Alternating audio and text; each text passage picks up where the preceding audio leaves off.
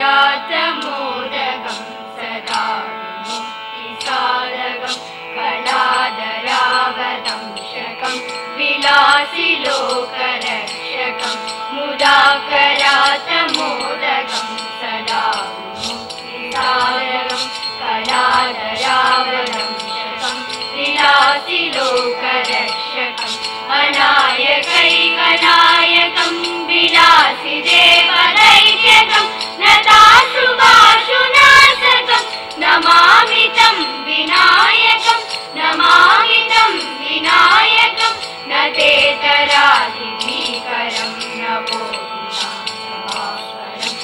Bye.